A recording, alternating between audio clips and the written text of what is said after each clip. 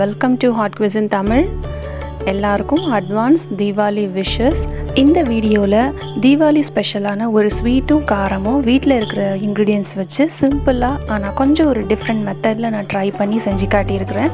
So நீங்களும் இந்த தீபாவளியை ஸ்பெஷலாக இது மாதிரி டிஃப்ரெண்ட் ரெசிபீஸை ட்ரை பண்ணி உங்கள் ஃபேமிலியோட நல்லா என்ஜாய் பண்ணுங்கள் வீடியோ ஸ்கிப் பண்ணாமல் தொடர்ந்து பாருங்கள் உங்களோட கமெண்ட்ஸை கீழே கமெண்ட் செக்ஷனில் கொடுங்க. வாங்க நம்ம இப்போ வீடியோக்குள்ளே போயிடலாம். ஃபஸ்ட்டு நம்ம பார்க்க போகிற sweet variety nuts stuffed gulab jamun first ஒரு சாஸ் பேனில் ஒரு கப் அளவுக்கு சீனி ஒரு கப் தண்ணி சேர்த்து பாகு ஃபஸ்ட்டு நம்ம காய்ச்சிடலாம். ஒரு அஞ்சுலேருந்து ஏழு நிமிஷத்துக்கு அப்புறம் நம்மளோட சர்க்கரை பாகு தொட்டு பார்த்தோம்னா ஒரு கம்பி பதம் வருதான்னு நம்ம செக் பண்ணிக்கணும். அதுதான் கரெக்டான ஸ்டேஜு அந்த ஸ்டேஜ் வந்ததுக்கப்புறம் ஒரு அரை லெமன் லைட்டாக ஒரு ஃபியூ ட்ராப்ஸ் மட்டும் பிழிஞ்சு விட்டுட்டு ஏலக்காய் தூளும் தான் நம்ம சேர்த்துக்கலாம். நான் வந்து ஏலக்காய் எசன்ஸ் சேர்த்துக்கிறேன்.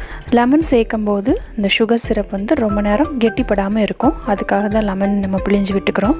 அவ்வளோதான் நம்மளோட பாகு தயாராகிடுச்சு இந்த குலாப் ஜாமுன் நான் மில்க் பவுடர் பால் பவுடர் வச்சு தான் செய்கிறேன் ஸோ அதுக்கு நான் ஒரு கப் அளவுக்கு பால் பவுடர் எந்த பிராண்ட் வேணால் எடுத்துக்கலாம். இதுக்கு நான் வந்து பொடிச்ச சர்க்கரை எடுத்து வச்சுருந்தேன். ஒரு அரை கப் போல் எடுத்து வச்சுருந்தேன். ஸோ அதை எடுத்து அதை சேர்த்துக்கிறேன். அப்புறம் ஒரு கால் டீஸ்பூன் வந்து பேக்கிங் சோடா இல்லை பேக்கிங் பவுடர் எது இருக்கோ அதை சேர்த்துட்டு நல்லா ம ஃபஸ்ட்டு மிக்ஸ் பண்ணிக்கோங்க. மிக்ஸ் பண்ணிவிட்டு அதுக்கப்புறமா ஒரு பவுலில் தண்ணி பக்கமே வச்சுக்கோங்க. தண்ணி வந்து கொஞ்சம் கொஞ்சமாக ஸ்பூன் அளவில் தான் நம்ம மெஷர்மெண்ட் பண்ணி இந்த மாதிரி கொஞ்சம் கொஞ்சமாக தெளித்து சேர்த்து தான் நம்ம பிசையணும். ஏன்னா இந்த ஜாமுன் வந்து நம்ம பால் பவுடரில் செய்கிறதுனால ரொம்ப தண்ணி சேர்த்துடக்கூடாது. ரொம்ப பிசு பிசுன்னு ஆகிடும் நான் இப்போ மூணு ஸ்பூன் தண்ணி சேர்த்துருக்குறேன். தேவைப்பட்டுச்சுன்னா கூட ஒரு ஸ்பூன் நம்ம சேர்த்துட்டு நம்ம பிசைஞ்சு பார்த்துக்கலாம். ஸோ நம்மளோட ஜாமுன் மிக்ஸ் ரெடி ஆகிடுச்சு இப்போ அதில் இருந்து ஒரு கால் போர்ஷன் மட்டும் பிரித்து தனியாக எடுத்துக்கிறேன். மிக்சி ஜாரில் ஒரு ஏழு எட்டு பாதாம் பருப்பு பிஸ்தா பருப்பு ரெண்டுத்தையும் சேர்த்து நல்லா பொடிச்சு வச்சுக்கணும். இப்போ நம்ம ஒரு கால் போர்ஷன் மாவு தனியாக எடுத்து வச்சுருந்தோம் இல்லையா? அதில் எவ்வளோ வேணுமோ நம்மளோட தேவைக்கு ஏற்ற மாதிரி டேஸ்ட்டுக்கு ஏற்ற மாதிரி நம்ம பொடிச்ச நட்ஸு நட்ஸ் பவுடரை உள்ளே சேர்த்துடலாம்.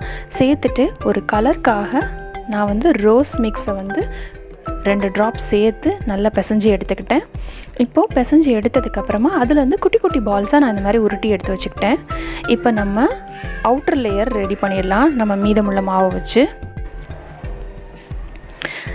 எடுத்துகிட்டு இந்த மாதிரி கையில் நல்லா விரிச்சிட்டு நம்ம அந்த ரோஸ் மிக்ஸ் போட்டு மிக்ஸ் பண்ணி குட்டி பால் செஞ்சு வச்சுருந்தோம் இல்லையா? நட்ஸு சேர்த்து.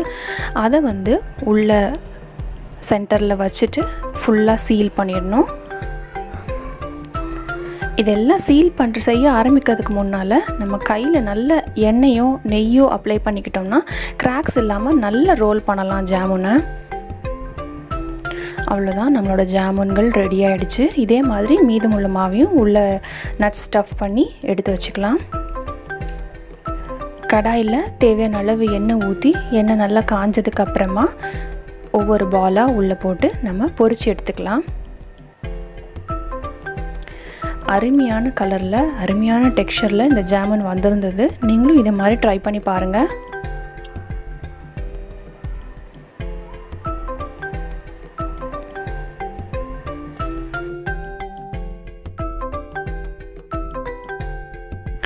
இப்போ நம்ம பொரிச்ச ஜாமுனை நம்ம காய்ச்சி ஆற வச்ச பாகுல உள்ளே சேர்த்துடலாம். ஒன்று ஒன்றா சேர்த்துட்டு ஒரு பத்து நிமிஷம் ஊறுனா போதும். அவ்வளோதான் நம்மளோட nut stuffed gulab jamun ready ஆகிடுச்சு நம்ம யூஸ்வலாக செய்கிற குலாப் ஜாமுனை கம்பேர் பண்ணும்போது இது ஒரு டிஃப்ரெண்ட் வேர்ஷன் நீங்களும் இது மாதிரி ஒரு முறை ட்ரை பண்ணி பாருங்கள் குழந்தைங்களுக்கு ரொம்ப பிடிக்கும் இன்ட்ரெஸ்டிங்காக இருக்கும் கலர்ஃபுல்லாக இருக்கிறதுனால. இது ஊறினதுக்கப்புறம் நான் காமிக்கிறேன். ஜாமுனை கட் பண்ணி பார்த்தோம்னா நல்ல சாஃப்ட் டெக்ஸ்சரில் எவ்வளோ கலர்ஃபுல்லாக அருமையாக வந்திருக்கு பாருங்கள்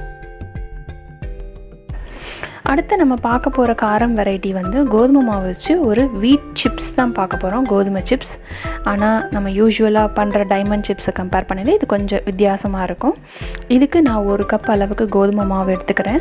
ஒரு கப் அளவுக்கு மைதா மாவும் எடுத்துக்கிறேன். உங்களுக்கு மைதா மாவு வேண்டாம் அப்படின்னீங்கன்னா அதை ஸ்கிப் பண்ணிவிட்டு கோதுமை மாவே ரெண்டு கப்பாக எடுத்துக்கோங்க. தேவையான அளவு உப்பு சேர்த்துக்கோங்க. ஒரு ஸ்பூன் போல் நெய் சேர்த்துக்கலாம்.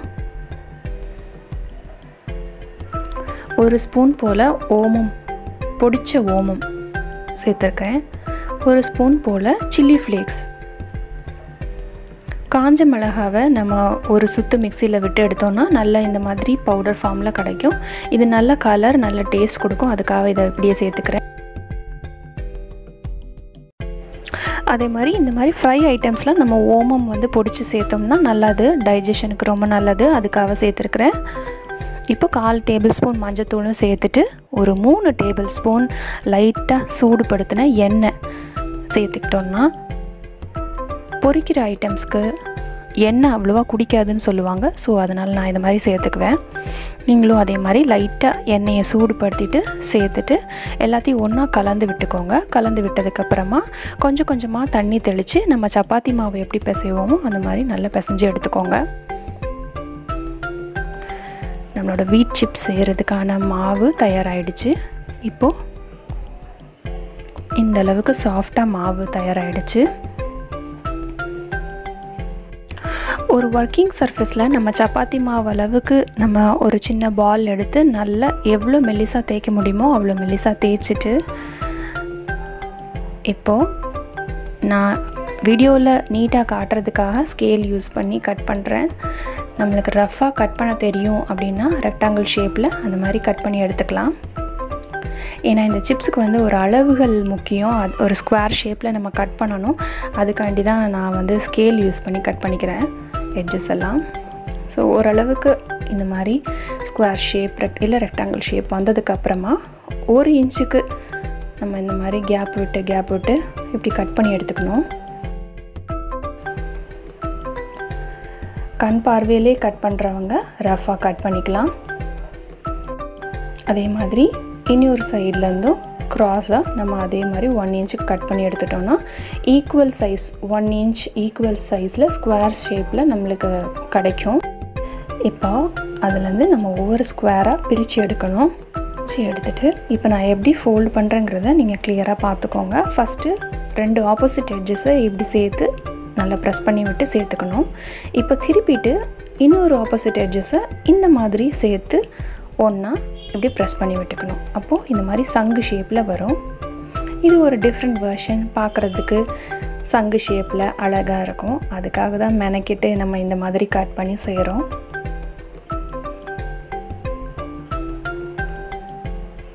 அவ்வளோதான் ரெண்டு எட்ஜஸும் நம்ம இந்த மாதிரி நல்ல கை வச்சு ப்ரெஸ் பண்ணிட்டோம்னா நல்லா சீல் ஆயிரும். இதே மாதிரி மீதமுள்ள மாவுகளையும் அந்த ஸ்கொயர் ஷேப்பில் நம்ம கட் பண்ணிவிட்டு இந்த மாதிரி சிப்ஸுகளை ரெடி பண்ணிடலாம் ஃப்ரை பண்ணுறதுக்கு. அவ்வளோதான் நம்மளோட சிப்ஸுகள் பொரிக்கிறதுக்கு தயாராகிடுச்சு இப்போ கடாயில் எண்ணெயை சூடுபடுத்திட்டு நம்ம ஒவ்வொரு சிப்ஸாக எண்ணெயில் போட்டு நல்லா கோல்டன் ப்ரௌன் ஆகிற வரைக்கும் நல்லா வறுத்து எடுத்துடலாம். அவ்வளோதான் இந்த வீடியோவில் நீங்கள் பார்த்த இந்த ரெண்டு ரெசிபீஸும் உங்களுக்கு பிடிச்சிருக்கும்னு நினைக்கிறேன். நீங்களும் ஒரு முறை இந்த ஃபெஸ்டிவல் சீசனில் ட்ரை பண்ணி பார்த்து ஃபேமிலியோட நல்லா என்ஜாய் பண்ணுங்கள் மறக்காமல் ஹாட் கியூஸ் இன் தமிழ் சேனலை சப்ஸ்கிரைப் பண்ணுங்கள் தேங்க்யூ